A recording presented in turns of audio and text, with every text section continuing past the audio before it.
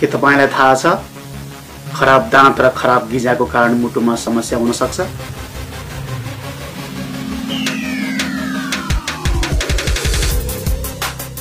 आज दाँत र मुटुको सम्बन्धको बारेमा कुरा गर्दैछु। यदि तपाईँले नियमित ब्रस गर्नु भएन वा ब्रस सही तरिकाले गर्नु भएन भने तपाईँको दाँत पहेँलो हुँदै जान्छ। अनि दाँत र गिजाको बिचमा किटाणुहरू हुर्कँदै जान्छन् जुन हाम्रो नाङ्गो आँखाले देख्न सक्दैन।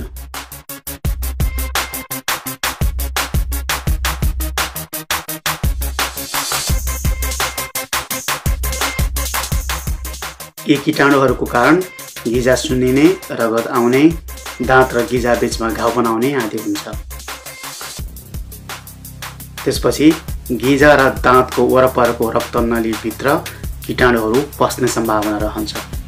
ती किटाणुहरू बग्दै गएर रक्तनली र मुटुको भल्भमा गएर पुनः हुर्कन सक्छ। यदि मुटुको भल्भमा ती किटाणुहरू बढ्न थाले भने र कमिलाले गुण लगाएको जस्तो क्लम्प बनायो भने त्यस भागमा ठुलो क्षति गर्न सक्छ।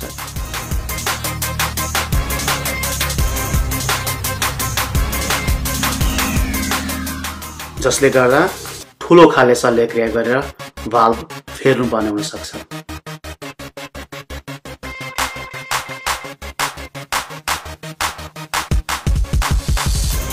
उक्त क्लम्प चोइटिएर मस्तिष्कतिर गयो भने पक्षाघात हुन सक्छ।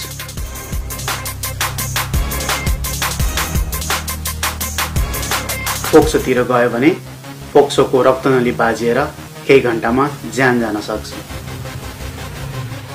अब बुझ्नुभयो होला अहिले राम्रोसँग ब्रस नगर्दा दाँत र गिजाको बारेमा ख्याल नगर्दा भविष्यमा निकै धेरै रोगहरू लाग्ने सम्भावना बढ्न सक्छ। याद गर्नुहोस् गिजा र दाँतमा समस्या सुरु हुँदा सबैलाई दुख्दैन सबैको रगत आउँदैन।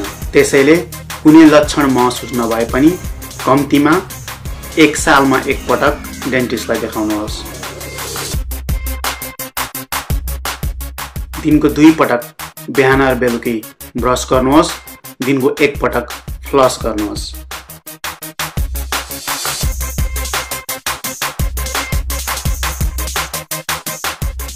मुख कनाउने वा दाँत दुख्ने समस्या भइसकेको भए दिनको एकपटक माउथ वासले कुल्ला पनि गर्नुहोस्।